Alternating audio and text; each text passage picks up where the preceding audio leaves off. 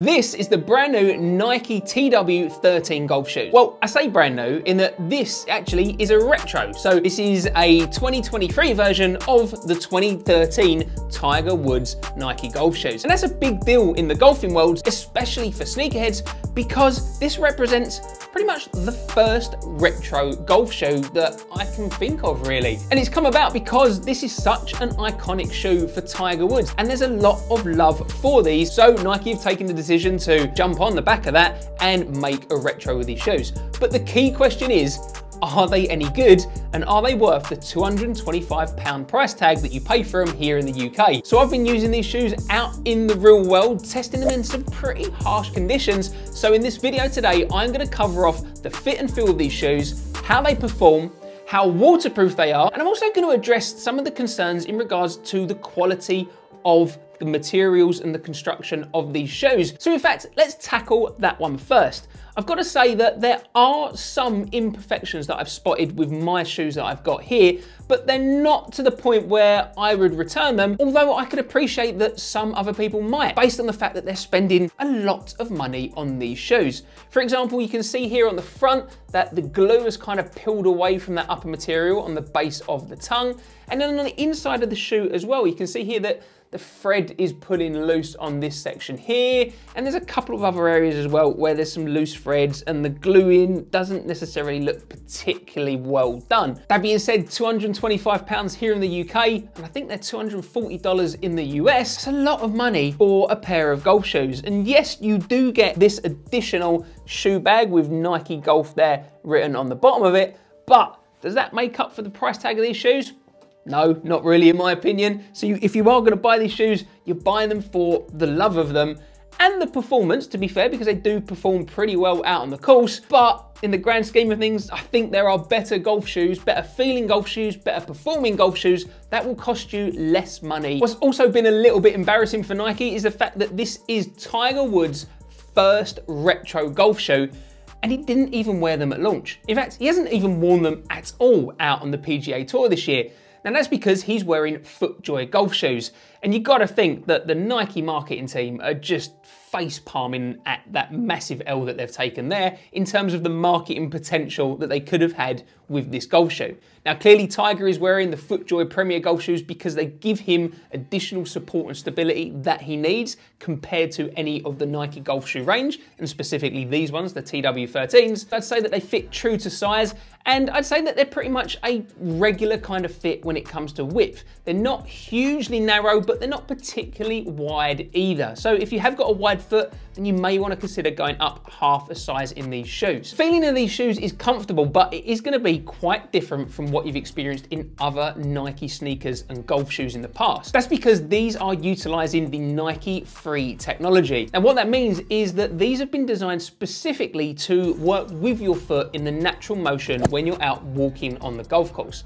Now for me, because I pretty much walk the course all the time, I actually really enjoyed the feeling of these shoes. They're not necessarily the softest underfoot, but it doesn't mean that they're uncomfortable. They're just not as soft as something like a Nike React midsole or a Zoom Air Pocket running all the way along the bottom of them, but they're still comfortable enough. But what it means is, is that you get a good range of motion. And the way that it does that is you can see here that the outsole is split up into all these different quadrants. And that gives the shoe a nice amount of flexibility when you're out walking and transitioning on the course. They're also mm, stable-ish, but you can see here that you have got quite a lot of flex in these shoes compared to something like, here we go, the brand new FootJoy Hyperflex that's come out, there's very little kind of flex, but also there's not quite as much flexibility in that transition. Are you gonna see a notable difference out on the golf course in terms of performance? Probably not but it does come down to personal preference.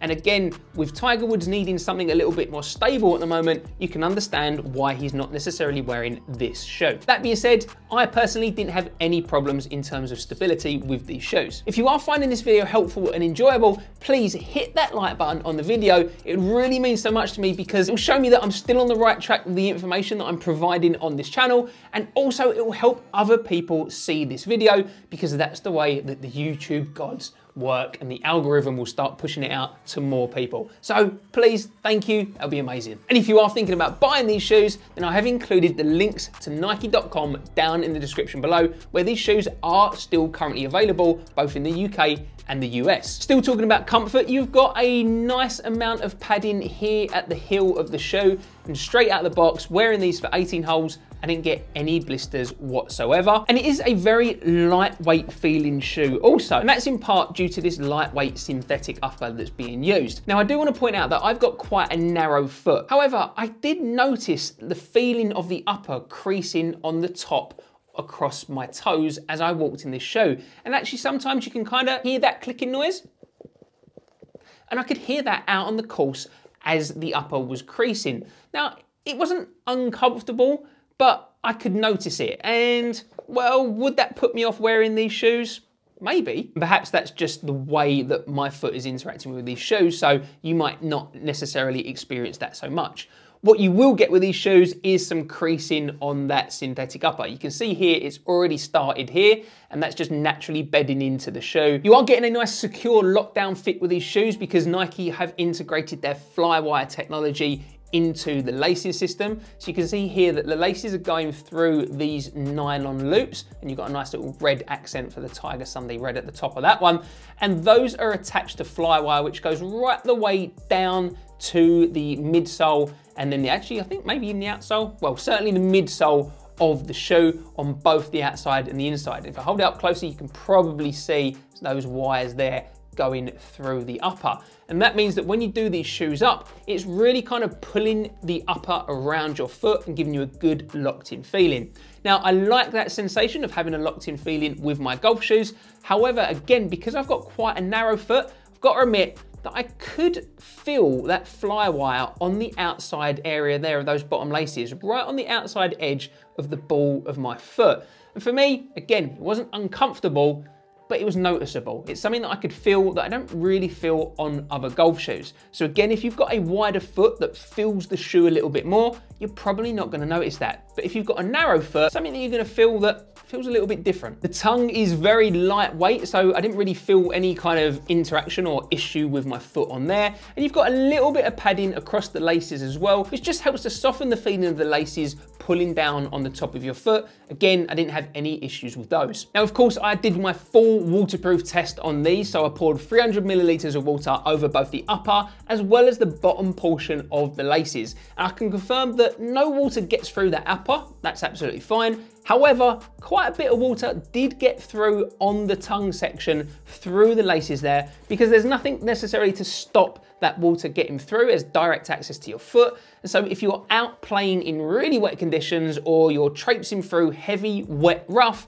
then your feet might get a little bit wet wearing these shoes. In terms of traction from this outsole, I didn't have any issues whatsoever. I actually really enjoyed the experience of wearing these. I didn't slip at all. You've got the combination of these six spikes or cleats. You've got some kind of like um, kind of raisedness. You can see here they're at a point on the white sections here, but that's midsole foam material. So you can see me compressing that there. That's not gonna give you any additional grip, but you do also get quite some nice aggressive grip and traction on the toe as well as the heel with these kind of more reinforced rubber sections of the shoe. And then what you also get as well, if you see on the outside there, you get that reinforced rubber section. It's kind of almost holding the shoe in from the outside there where it's raised on the outside and on the inside, you then get this kind of like spikes splaying out to the inside of the shoe as well. So overall, you are getting some good traction from this shoe. In fact, I did just want to show you as well, in terms of cleaning up these shoes, they actually clean up pretty nicely. So I gave these a quick wash with some warm soapy water. Literally took a minute or two. And here's the one that wasn't washed here. So you can see there's quite a lot of mud on that midsole there. Didn't really take too long. So that is a pro with these shoes is that they do wipe up nice and clean. They look pretty much brand new. They do look like a shoe of 10 years ago as such, but that's because they are a shoe of 10 years ago. They've got quite an athletic, almost trainer style design to them. And I believe that was the point when these were originally launched. Tiger wanted something that looked more fashionable and more like a sneaker, while still having the performance he needed out on the course. It's almost a combination of subtle and aggressive details on the shoe. So the grey elements here, quite subtle, contrasting that white upper. The Tiger Woods logo on the back, nice and subtle. Again, with the little Tiger Woods logo on the tongue and the little bit of Tiger Sunday red on the sides. But then also you've got the quite chunky and aggressive toe section here, which is serving a kind of performance benefit, but is also quite a bold look at the front of the shoe. You've got the big Nike swoosh on both sides as well. And on the bottom, you've also got the Nike swoosh as well as the Tiger Woods logo on this plasticky kind of little reinforced bit here on the underside of the shoe. But you've also got the stitching of the upper here, the synthetic upper on the outside is a separate section to that inside material there. Can you see how that's two different bits?